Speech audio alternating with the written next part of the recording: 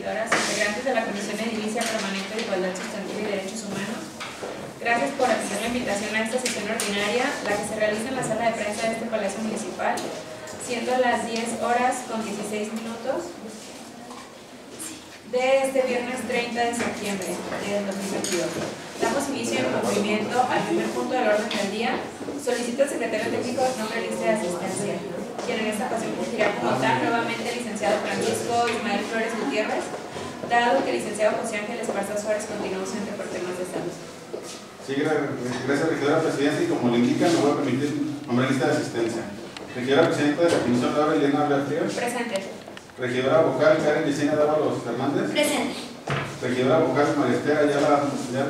Presente. Regidora vocal Ana Priscila González García. Presente. Presenta el informe que se encuentra en la, la totalidad de las regidores integrantes de la comisión. Gracias, secretario. En consecuencia y con fundamento de lo dispuesto por el artículo 60 del Reglamento para el Funcionamiento Interno en sesiones del Ayuntamiento Constitucional de Tonalá, Jalisco, se declara la existencia de quórum legal para sesionar, siendo las 10 horas con 17 minutos de este viernes 30 de septiembre del 2022. Agradeciendo la asistencia de mis compañeras regidoras y, en consecuencia, solicito al secretario técnico continuar con el orden del día. Como señala la regidora presidenta, pasando al segundo punto, que es lectura y en su caso aprobación del orden del día, siendo el siguiente. 1. Lista de asistencia y creación de quórum legal. Número 2. Lectura y en su caso aprobación del orden del día.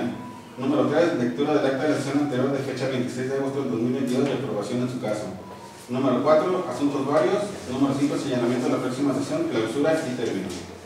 Se somete a su consideración el orden del día y en votación económica se pregunta usted si es de aprobarse. Regidora Presidenta, le informo que ha sido aprobado por unanimidad.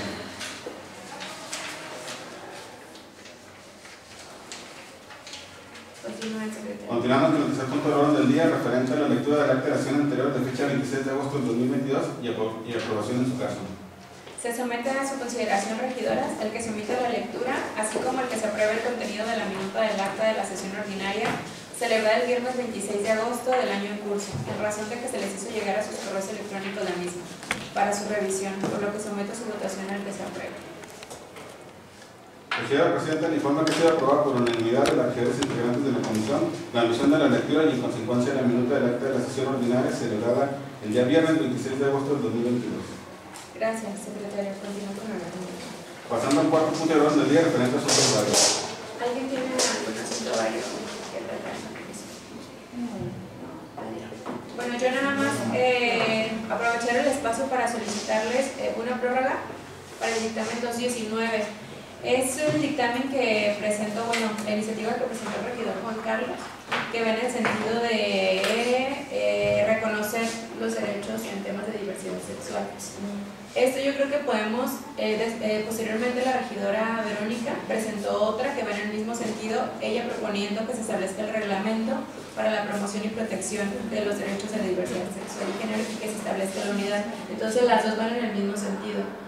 Eh, lo que pretendo es establecer previa es una, una mesa de trabajo, la va a dictaminar la Comisión de Reglamentos y Cursos Constitucionales, nosotros vamos como coadyuvantes en una, pero creo que lo ideal sería sacar una sola iniciativa, ya que las dos van en el mismo sentido, y nosotros sumarnos a la iniciativa que se presente, que sea una sola, no tiene caso el dictaminar las dos y las dos. Una es el reglamento y otra es la unidad, entonces para la unidad pues, efectivamente necesitamos el reglamento, entonces previo a eso establecer una mesa de trabajo en coordinación con la Comisión de Reglamentos y Puntos Constitucionales y dictaminar una sola iniciativa, pero pues sí necesitamos una prórroga.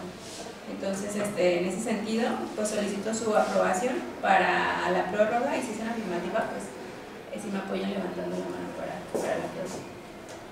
Presidente de la Comisión de la Pro- informo que la prórroga ha sido aprobada por unanimidad de las regidores integrantes de la comisión.